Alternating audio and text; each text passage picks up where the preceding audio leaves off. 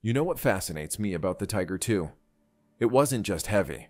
It was catastrophically, hilariously, tragically heavy.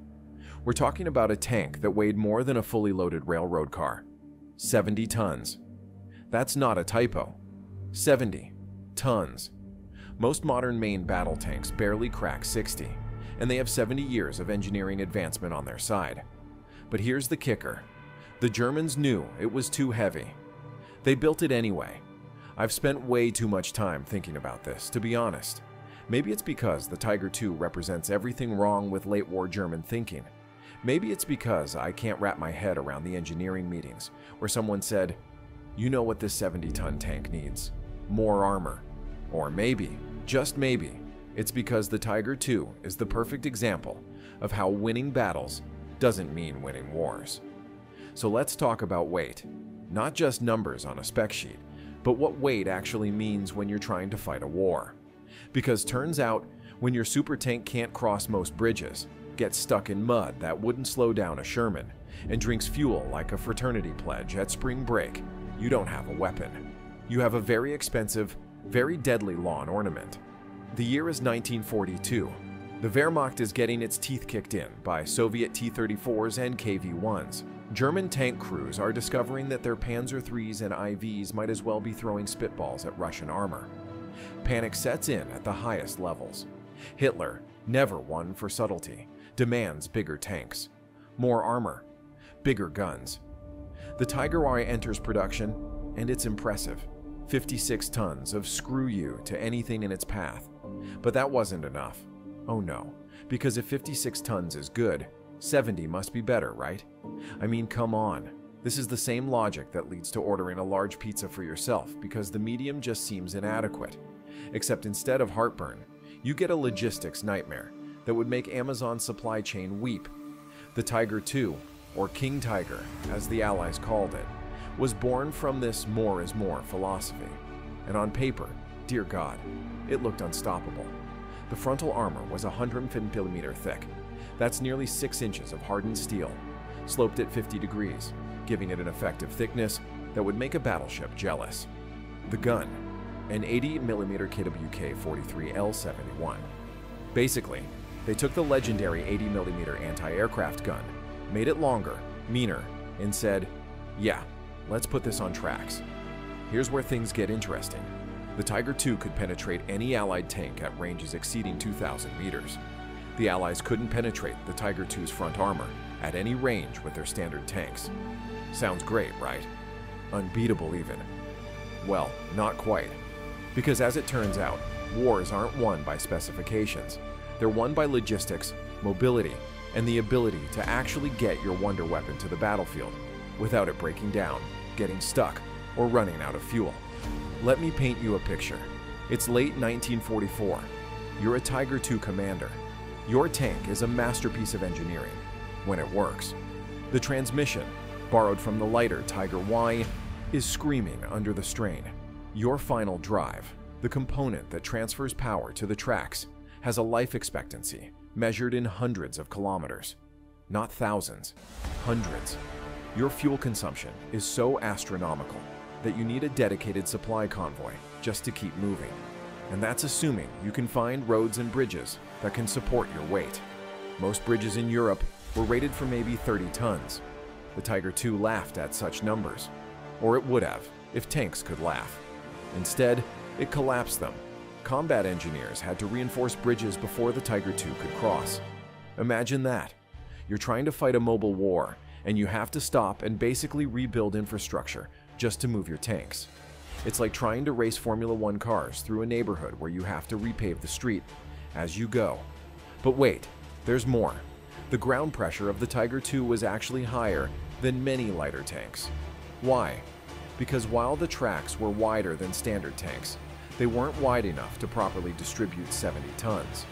This meant that in anything resembling soft ground, mud, snow, wet fields, the Tiger II would sink. And when a 70 ton tank sinks, it doesn't just get stuck, it becomes a bunker, an immobile, fuel hungry bunker. There's this famous account from the Ardennes offensive. A Tiger II battalion is advancing through Belgium. They encounter a muddy field that Sherman's had crossed hours earlier without issue. The first Tiger II attempts to cross. It sinks to its hull. The second tries to go around, also stuck. Within an hour, half the battalion is mired in mud that medium tanks treated like a minor inconvenience. The crew eventually had to abandon several of them. 70 tons of advanced engineering, defeated by dirt and water. The mechanical reliability was its own special nightmare. The Tiger II used the same Maybach HL230 engine as the Tiger I and Panther. Now this engine produced about 700 horsepower. Sounds decent, right? Except the Panther weighed 45 tons. The Tiger I weighed 56 tons. The Tiger II, 70 tons. You're asking the same engine to move 25% more weight. It's like putting a Honda Civic engine in a pickup truck and wondering why it keeps breaking down. Final drives were the real Achilles heel though. These components took all the engine's power and transferred it to the tracks. In the Tiger II, they were under constant, brutal stress. The official manual recommended replacing them every 500 kilometers. In practice, they often failed after 150. Some units reported final drive failures after less than 100 kilometers. Imagine driving a car where the transmission needs replacing every thousand miles. That's what Tiger II crews dealt with, except their car was in a war zone. And speaking of war, let's talk about combat effectiveness. Yes, the Tiger II was nearly invulnerable from the front. Yes, it could destroy any Allied tank at extreme ranges. But here's the thing about tank warfare. It's not a duel at high noon. It's about mobility, combined arms, and most importantly, numbers. A Sherman tank weighed 30 tons. America built over 49,000 of them. They were reliable, easy to maintain, and could use basically any bridge or road in Europe. Their 75mm guns couldn't penetrate a Tiger II's front armor, true, but they could flank it, they could call in air support, they could overwhelm it with numbers, and most importantly, they could actually get to the battle. The Tiger II, Germany built less than 500, total, ever, and at any given time, maybe half were operational, the rest were waiting for parts, broken down, or stuck somewhere. It's the ultimate example of quality versus quantity, except the quality came with so many drawbacks that the quantity became irrelevant. Fuel consumption was another killer. The Tiger II got about 0.5 miles per gallon on roads. Off-road? Forget about it. You might as well measure it in gallons per mile. In late 1944 and 1945, when Germany was desperately short on fuel, having tanks that drank gasoline like it was going out of style was not ideal. There are numerous accounts of Tiger IIs being abandoned simply because there was no fuel to move them. Training was another issue nobody talks about. Driving a Tiger II required serious skill. The transmission was notoriously difficult to operate. The steering system, which used hydraulic power that varied with engine speed, took extensive practice to master. New drivers would burn out transmissions in days. Experienced Panzer IV drivers would get into a Tiger II and immediately break something. It's like going from driving a Ford Focus to piloting a space shuttle. Sure, they're both vehicles, but that's where the similarities end. The tactical inflexibility was perhaps the most damaging aspect, though. The Tiger II was designed for one thing long range tank duels on open terrain. In that specific scenario, it was unmatched. But how often does war give you exactly what you want? In urban combat, the Tiger II was a liability. Too big to maneuver, too heavy for building floors, too thirsty to operate for extended periods. In forests, its long gun would get caught on trees. In mountains, its weight made many roads impassable. Compare this to the Sherman, or T 34. Were they inferior in a straight fight? Absolutely. But they could go anywhere, fight in any terrain, and most importantly, they could be there when needed. A Sherman might not win against a Tiger II, but 10 Shermans could be in 10 different places, while one Tiger II was stuck at a river crossing, waiting for engineers to reinforce the bridge. There's this persistent myth that the Tiger II was undefeated in tank on tank combat. It's mostly true, but it misses the point entirely. It's like saying a fortress is undefeated. Sure, if you can't move and the enemy has to come to you, you'll probably win. But wars aren't won by sitting still. The production costs were staggering too. One Tiger II cost as much as four Panthers or six Panzer IV. For that same price, you could build 21 Stugs. 21. And Stugs were excellent tank destroyers that could hide, shoot, and scoot. They were everything the Tiger II wasn't practical, reliable, and numerous. Let me tell you about Koenigstiger unit readiness rates, because they're hilarious in the most tragic way possible. In March 1945, Schwer Panzerabteilung 506 reported 16 Tiger IIs operational out of 45. That's barely one third. The rest were down for maintenance, waiting for parts, or simply broken beyond immediate repair. This wasn't unusual. This was normal. Meanwhile, American armored units regularly maintained 80-90% readiness rates with their Shermans. Soviet T-34 units, despite their reputation for crude engineering, kept similar numbers. Because it turns out, a simple, reliable tank that works is infinitely more valuable than a complex super tank that doesn't. The Tiger II's combat debut in Normandy was telling. During Operation Goodwood in July 1944, Tiger IIs of Schwer Panzerabteilung 503 inflicted heavy losses on British armor. One Tiger II reportedly destroyed 14 Shermans. Impressive, right? Except that same unit lost most of its Tiger IIs to mechanical failure during the subsequent retreat. They literally had to blow up their own tanks because they couldn't move them. Here's what really gets me. German engineers weren't stupid. They knew about these problems. Test reports from 1943 highlighted every single issue I've mentioned. Weight problems, documented. Reliability concerns, extensively noted. Fuel consumption, calculated down to the liter. But they built it anyway. Why? Because Hitler loved big tanks. And in Nazi Germany, what Hitler wanted, Hitler got. Even if it made no tactical sense whatsoever. The Allies developed specific tactics for dealing with Tiger IIs that basically boiled down to avoid the front and exploit literally every other weakness. They'd use artillery to separate Tiger IIs from their infantry support. Fighter bombers would attack supply convoys, knowing that a Tiger II without fuel was just an expensive pillbox. Tank units were instructed to flank or bypass, never engage head on, unless absolutely necessary. One British tank commander described fighting Tiger IIs as like fighting a heavyweight boxer with bad knees and asthma. Dangerous if he hits you, but easy to dance around. By early 1945, the situation was farcical. Tiger II units would receive replacement vehicles, but no spare parts. Crews would cannibalize broken tanks to keep others running. Some units had more mechanics than combat crew. There are reports of Tiger IIs being used as static defense positions, not by choice, but because they literally couldn't move. The final drive situation got so bad that units developed elaborate preventive maintenance schedules. Drive for two hours, rest for one. Never exceed 15 miles.